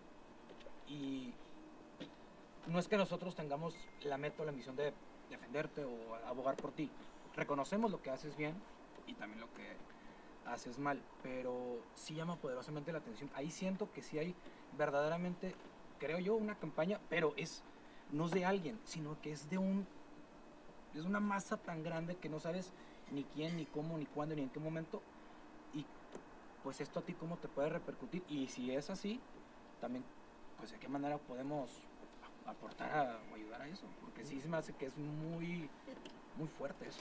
A ver, te, te voy a platicar, te voy a platicar una, te voy a contestar esa, perdón, no te contesto lo que tú quieras. Pero hubo un congreso, hay un grupo que trata de hacer una asociación de directores deportivos. Entonces hubo un congreso de este tema, creo que la semana pasada, en España. Y el reporte que tengo de la presentación de uno de estos grandes ponentes es, el director deportivo tiene que controlar la información y guardársela siempre a la directiva. Hay dos tipos de directiva.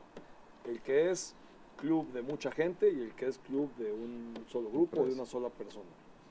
Particularmente cuando es una sola persona, tienes que mentirle, no tienes que hacerle ver la verdad, porque tu trabajo es manipular la información. Yo vi ese reporte y dije, ah, cabrón, pues sí. Entonces cuando tú me dices, ¿cuánta gente quisiera estar en la silla de Dante? Pues un chorro y conozco varios. Y se hace que aquí conocen varios. Pues mientras nosotros estemos aquí, ese no es el sistema, cabrón. Nosotros aquí trabajamos como equipo. Cuando ganamos, ganamos. Cuando perdemos, perdemos. Y el fracaso es de todos.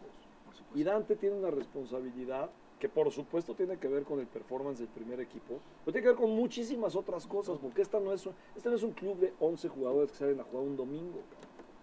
Aquí hay 700 personas trabajando, ¿no? Entonces, la responsabilidad y la economía que genera esta organización, esta infraestructura a la región, es una responsabilidad muy grande. Entonces somos como un guardián ante un castillo y lo vamos a defender contra el que sea. El ratón Miguelito. ¿Qué, qué hubiera gustado a la, a la comarca que nos agache? No, tan grandísimos, güey. No, güey. Vamos a defender lo que nosotros creemos que es nuestro derecho contra el que sea. Y como sea. Estamos orgullosos Y, nosotros. y- y- y eso es lo que nosotros vamos a hacer. Porque además tenemos la razón. Y nos vamos a defender al costo que sea. Por ejemplo, ahorita retomando el tema de, de- de lo que está diciendo Gerardo, ¿cómo, cómo puedes preguntar o cómo, cómo se pregunta esto cuando los mismos que estamos en esta mesa hemos, o sea, se han publicado y han hecho publicaciones tirándole a Dante, tirándote a ti, tirándole a varios de los jugadores que los ponen como los causantes de- del fracaso de Santos en este año? O sea, ¿cómo cambias que varios de los que están aquí sentados ataquen de manera directa y luego hagan Creo este que tipo de así, cosas? dialogando. Porque al final nos podemos caer bien, nos podemos caer mal, pero tenemos algo en común. Todos queremos que a Santos le vaya mejor.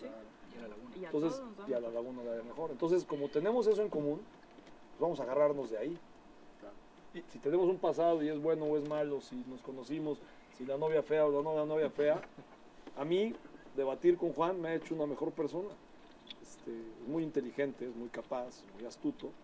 Siempre fue un gran, gran privilegio compartir pantalla contigo, Juan, cuando nos... Aprovecho para felicitarte por el segundo lugar actual del Sporting. Gracias, mi querido. Eso. Pero no es nada, eso no ha ganado nada, tiene que No seguir. importa, no importa. Va en, va en camino, de hecho, su reto. Y estoy convencido que si a una parte de las tres que hay, Sporting, a Santos y Atlas, le va bien, a la organización institucional le va bien. Entonces, felicidades por el Sporting. Más, mi querido. Y-. Y eso es importante, porque esa es la otra cosa. ¿no? O sea, ¿qué posibilidades hay de que en los siguientes 10 años la laguna tenga la economía de Monterrey? Cero. A pesar de que Menos uno, uno, ¿eh? menos 20. ¿Qué, qué posibilidades hay de que la, la brecha entre la economía de Tigres y la de Santos se ensanche? Sí, sí. ¿Cómo le hacemos nosotros para poder seguir manteniendo nuestro nivel de competencia? ¿Siendo un equipo parado por sí mismo o siendo un equipo que pertenece a un grupo global que le genera otras, otras posibilidades y otra visibilidad? Desarrollo. Entonces, ese es el tema. Ese es el tema. O sea, ¿cómo, cómo- o sea, en mi cabeza solo está cómo fortalecemos a los equipos que hacen parte de nuestra organización para que le den más satisfacciones a su afición y puedan incidir de una forma mucho más profunda en la generación de valor a su región. Y creo que entonces el modelo por el que nosotros apostamos no sé, mañana las cosas pueden cambiar, pero hoy es ese. Alejandro, ahora que con todas las surgen campañas a veces negativas contra el club, ahora con las redes sociales mucha, muchas gentes eh, transmiten, no son medios muy establecidos, pero son personas que comentan sobre el equipo y muchos no vienen aquí y conocen a profundidad lo que se hace aquí en, el club. A veces es información que trasciende y se vuelve imparable porque, porque pues, las redes sociales ahora actualmente ya pues, son un medio más que, que abarca en toda la región. Y para no, entiendo lo que nos comentas y, y que nuestra responsabilidad es orientar esa parte de lo que los que sí estamos aquí dentro, que vemos lo que, lo que sucede, los que estamos platicando directamente contigo, eh, tener esa parte de, de orientación hacia la prisión que puede ser de alguna forma manipulada por la por la por rumores que son infundados de alguna forma y que afectan como una avalancha hacia la demás afición. Yo tengo esa percepción de que, de que se genera un, un contrapeso en ese sentido, orientación más que nada hacia lo que, lo que ocurre realmente en el club, porque pues, lo, lo hemos visto realmente en muchas, en muchas situaciones. Te lo agradezco y y tienes mucha razón, pero y te voy a decir, la petición no es vamos a reconstruir esto, por favor, hagan bien del club. No, No, no. Y luego entonces, si, si medio hablas bien, entonces eres prensa amiga, ¿no? Exactamente, sin, sin caer, sin caer en el, en el- Pero, y otra vez, te juro, y, y- y Juan lo sabe, o sea, pensamos en muchísimas cosas distintas, ¿no? siempre. Pero hemos discutido fuerte, pero pues con respeto, y aquí podemos seguirnos viendo, con ustedes y con varios de ustedes. No, no quiere decir, otra vez, no. Qué triste sería que todos pensáramos exactamente igual. Sería monocromático. Pero lo que sí sería muy bueno es que a pesar de las diferencias de opinión que tengamos, podamos construir en base a esas diferencias. Y, y, a ver, yo los escucho y también me, me nutren y me hacen cambiar mi forma de ver las cosas. Pues, obviamente, pues, o sea, no, no, no, no, ¿me entiendes? No, no estoy cegado. O sea, creemos en lo que creemos, sabemos lo que medio sabemos y aprendemos todos los días. Y nos damos cuenta de muchas cosas que podemos mejorar y, y- y- y reconocer.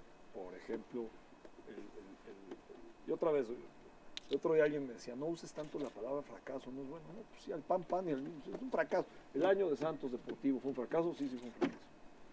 Pero fracaso no quiere decir que te mueres y se acabó.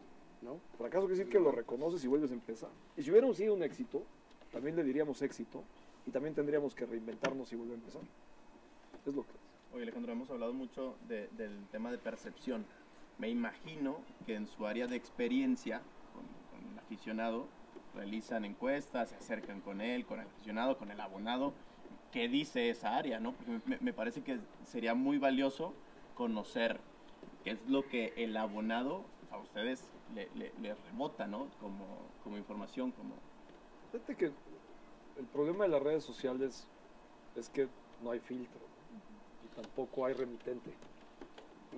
Entonces, de repente tú puedes ver en las redes sociales medir una temperatura y, y hay muchas cosas que medir, porque muchos son, tienen dos seguidores, nunca habían mandado un mensaje, este, así, ¿no? No digo con eso que no sea, que no haya aficionados de corazón que estén a disgusto, claramente los hay y tienen razón en estar este, pero un poco, otra vez, te decía, el sentimiento es malo, pero cuando revisas así el órgano uno por uno, yo no veo el, o sea, veo desproporcionado ese problema de, perce- de percepción contra la realidad. Pero bueno, tan es, tan es importante que aquí estamos sentados hablando de ello. Oye, Pero yo no te hablo- ¿y qué yo le no te hablo tú a- hoy, que es 30, como lo mencionaste, ¿qué le dices hoy a la afición lo, lo que hemos estado diciendo. ¿no? Nuestro compromiso es total con Santos, total con la Laguna, nuestro reconocimiento de que las cosas no cuajaron como debieron de haber cuajado. Pero ojo con lo que no cuajaron como debieron de haber cuajado porque habíamos hecho las cosas para que el resultado fuera mucho mejor. Entonces, estuvimos muy por debajo de nuestro potencial y nosotros tenemos que estar por encima de nuestro potencial. Creo que es lo que la región hace todos los días. En otras regiones no pasa lo que pasa aquí. En otras regiones les tiran la mano y cortan una fruta. Aquí no es así. Aquí tienes que estar por encima de ti todos los días. Y es como se ha construido esta región. Entonces Santos tiene que hacer eso. Y no lo hizo, no lo hicimos bien. Lo hicimos mal. Entonces tenemos que, que- que- que re- re- reorganizar las cosas. ¿Qué les digo? No vamos a empeñar el futuro de Santos para ver si me, si me mandan mejor, si ahora soy buena gente en Twitter. No, Ah, no la verdad es que tuiteo muy poco y ni lo veo. Y si me guiara por el pues, madre, pare- parecería de estos mayates dando vueltas por todos lados. No sabía ni para dónde. Oye, pero justo yo, no- yo no me refería al aficionado o al pseudo aficionado que te No, escribe en de redes Twitter, sociales. sino al que se viene a sentar aquí. No, porque sí, me parece que, al que al abonado. final eh, esa, esa opinión y esa percepción sería mucho más valiosa que, que el güey que te escribe de, Y la en revisamos te- y la atendemos y se las podemos compartir perfectamente. Pero no es, no es lo negativa que es la otra percepción. Sí, no. no, es así. O sea, hay gente que viene... Es uno de los órganos que checamos y que no vemos ese nivel de que hay muchas cosas que mejorar, sí, sí, muchísimas cosas que mejorar, pero el Y, y el, entorno el- es... el aficionado que Más ya que no vino esta temporada, tam- yo creo que sería importante Ese es, ese es al que hay que atender. y- ¿Cómo El reconquistarlo? preguntarle por qué ya no vienes, por qué con no te resultados al aficionado, yo, le podemos decir todo lo que dijimos estas casi dos horas que tenemos platicando y, y lo que le interesa al aficionado y lo que merece, resultados. Hechos son amores, goles son amores y defensas sólidas son más amores. Creo que hoy tenemos que hacer este compromiso con la afición, hacerlo y utilizarlos a ustedes para que nos ayuden en, en- permear este mensaje. Es bien claro, no estamos satisfechos, es un fracaso. eh, eh, rotundo lo que sucedió el último año, pero tenemos las herramientas necesarias para darle la vuelta. No estamos improvisando.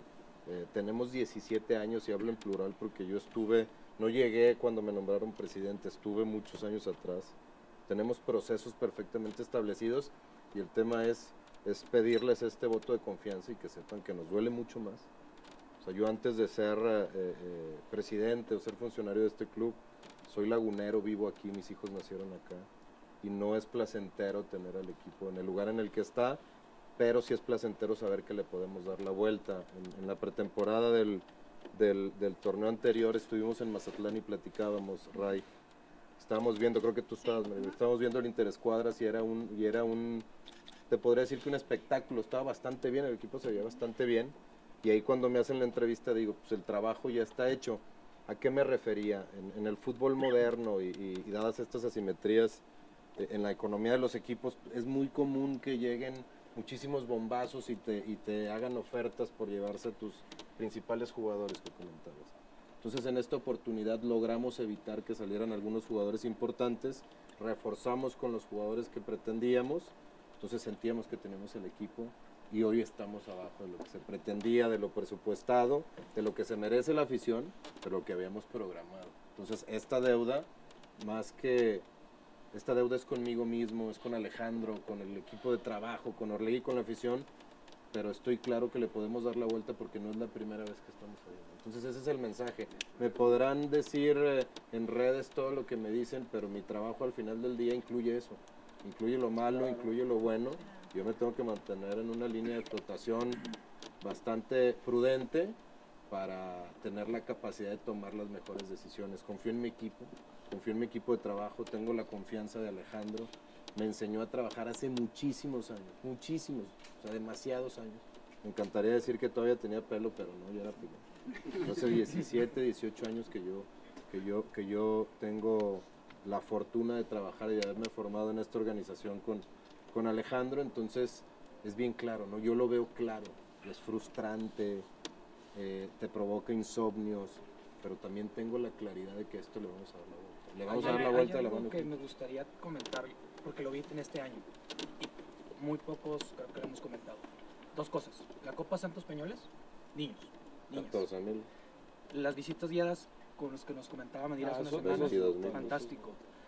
Hay un punto, y esto, es- y esto es una percepción mía, creo que lo más difícil como padre de familia, y con los que somos aquí, es atraer el- a los pequeños y a las pequeñas a que le interese el fútbol. Hay muchos eh, competencia, Netflix, videojuegos, lo que sea.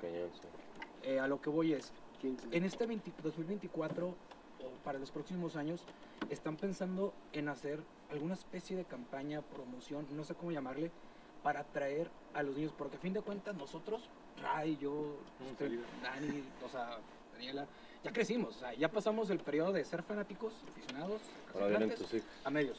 ¿Cómo va a ser Santos Laguna y el fútbol mexicano, pero Santos Laguna, la Laguna, para atraer a estos, a estas nuevas generaciones? Porque a fin de cuentas ya muchos estamos ya en otras cosas. ¿Cómo, cómo se le puede hacer? Fíjate, es, es- es- está interesante lo que dices, porque, porque además, este, como dicen, no es, no es lo que te pasa, es cómo reaccionas a lo que te pasa. Y el hecho de que la dinámica de vida de, de nuestra sociedad ha cambiado y está cambiando todo el tiempo es una realidad, ¿no? O sea, aquí hace 17 años se jugaba domingos a las 4 de la tarde, punto se acabó, ¿no? Y, y eso era la costumbre, ¿no? Y, y la sociedad cambió. Y los partidos, por cierto, eran por Azteca 7 o Azteca 13, que ahora es Azteca 1. O sea, ni siquiera se llama Azteca 13, es Azteca 1. Este, y ya, eso era, ¿no? O sea, no había de otra. Era un ritual. Hoy el fútbol cambió, porque hoy el calendario no lo maneja el equipo, ni siquiera lo maneja la televisora, lo maneja entre la liga y la televisora. Y las televisoras ya ni siquiera lo manejan solo por México, lo manejan por México y por Estados Unidos. Y aguas al ratito, porque al ratito, este, así como en España, también cuenta China y la India y quién sabe dónde, ¿no? Entonces, imagínate los horarios. Imagínate los temas de horarios y de días de juego. Y luego, los equipos, todos queremos cobrar más de derechos de televisión y la televisión no quiere empalmar sus juegos.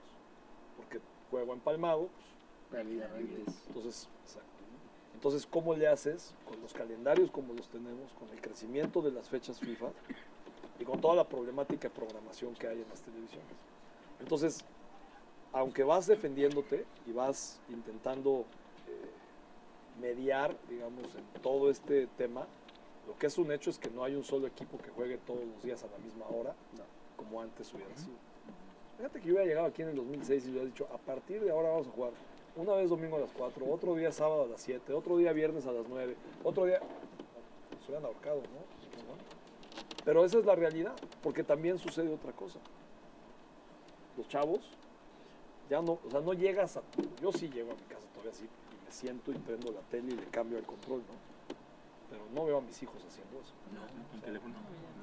Entonces, ha cambiado. Entonces, o te metes en el mundo digital y les tratas de llegar de otra manera y encuentras un balance entre toda esta movilidad que hay, o va a ser muy difícil. Por eso TCM 2.0 es tan importante.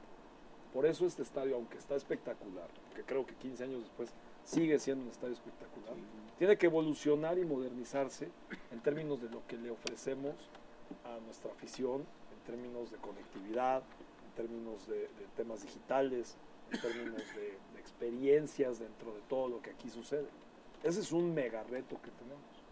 Entonces tenemos que hacer cosas que sean fantásticas para los niños, para los no tan niños, para los medianos y para los adultos que somos nosotros.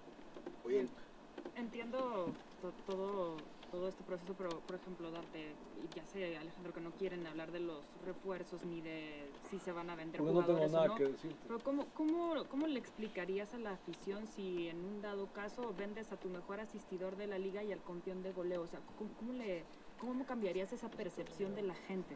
Pues porque no hay, o sea, porque otra vez, te lo vuelvo a repetir, es una ecuación de tres. Entonces, si me preguntas, quisiera, voy a hablar en nombre del comité deportivo, nosotros quisiéramos hoy desprendernos de algún jugador de media cancha para adelante, la respuesta es no. Pero ahora hay un chorro de factores. ¿Cuánto tiempo de- tiene de contrato este? ¿Qué tendría que suceder para que renovara? ¿Valdría la pena renovar? ¿No valdría la pena renovar? Este, ¿Quiere quedarse o no quiere quedarse? Porque esa es otra. Siempre el club es el culpable. Sí, es que ¿cómo le Siempre. explicas a la gente eso? Yo tengo muchísimas historias que no son necesarias ni siquiera de contar, pero pues hay que obviarlo y entenderlo. Otra vez, platiqué la de Cali, que es muy abierta. Nosotros no queríamos. Cali estaba bajo contrato, tenía un buen contrato, venía a ser campeón, era el capitán y muy querido en la laguna. Pero él quería jugar en el Boca. Bueno, pues ¿qué le dices? ¿Qué, qué puedes hacer contra ya esa postura de dos partes? Ah, porque Boca también lo quería. Entonces, y hoy el mercado ha cambiado mucho. Entonces, hoy en muchas de las contrataciones tu forma de, no sé si llamarle protegerte, pero De evitar el... de, de encontrar una, una mediación entre el jugador y, y el club que toma el riesgo y que los contrates con una cláusula de rescisión. Y esa cláusula de rescisión no podemos ni meter las manos. O sea, si llega el jugador y llega a otro club y pagan la cláusula de rescisión, no es ni que, ah, no, por favor, no, no existe. ¿Ya la pagaste? Se acabó. Es que No es una negociación. Son los tipos de, de Entonces, cosas que entonces, entonces tú me dices, este, va a salir Juan o Linda, Pedro sí. o no sé, o sea, ojalá no, pero si pasa eso, ¿Cómo se lo explicas a la gente todo bueno, pues entonces tenemos que reinventarnos, porque creo que la fuerza de este club no está en quedarse estático, está en reinventarse. Y nosotros tenemos que reinventarnos. Nos reinventamos todos los días. Y eso es lo que nos ha llevado de donde venimos a donde estamos. Y estoy seguro que eso es lo que nos va a llevar a un lugar mejor. Hoy estamos en posibilidad de desecharlo de Tigres de Juan Bruneta, nomás concretamente. No estamos No en ninguna bien. posibilidad de desechar nada porque te acabo. Pero es que fíjate. Sí, está bien. Oye, no bien. manches. Es que la gente- Eres bien inteligente, es que- cabrón. no, espérame, Pero a es que ver, es una mesa de diálogo, no es una es lo que entrevista. estoy diciendo. Pues no, pues te acabo de decir que es imposible no, desechar imposible. nada porque hay una cláusula de rescisión. dos. Si pagan la cláusula de rescisión y el jugador quiere va. irse, no hay forma. Ok, número dos. ¿Podemos saber el estatus que guarda el tema de tu demanda con el tema de Fox? Al No, momento. Nosotros no tenemos ningún tema. Nosotros Con tenemos Disney, una con demanda Disney, perdón, con de Disney, Walt con Disney Disney, Company. sí. Es que ya ves cómo. Sí, sí, sí. Es que con fíjate cómo viene el. No, si Con mantengámonos en la verdad, Con para que Disney, sea todo más con fácil. La demanda, este, el juez ha tomado. A ver, está bien fácil. Nada que te voy a decir no lo puedes buscar en, en la página del juez. Este, el juez ha decretado que ellos incumplieron su contrato, el juez nos ha otorgado daños punitivos, el juez eh, lamentablemente tenía un tema personal y solo podía dedicar, creo que eran 30 horas a Santos y 23 a ellos, y consideró que eso no iba a ser suficiente para la deliberación, y a cuatro, un miércoles, el juicio empezaba el lunes, a tres días o cuatro de iniciar, el juez prefirió postergarlo. Para postergar esto tienes que ponerse de acuerdo entre los abogados porque hay ventanas.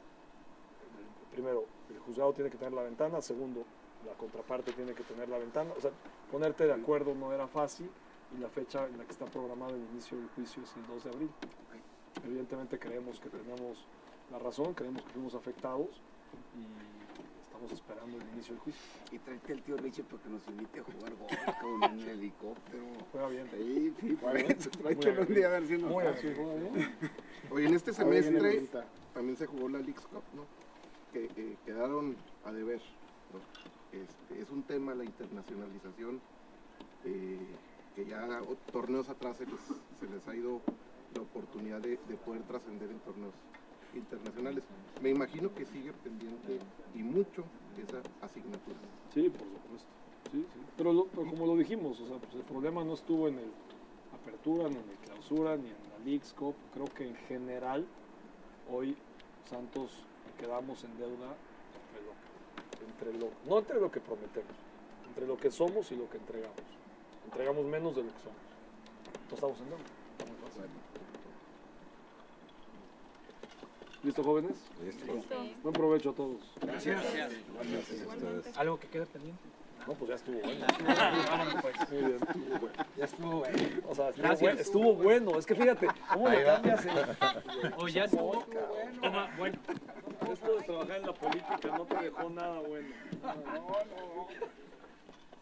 Pero no se han acercado de Tigres por Bruno. Hombre.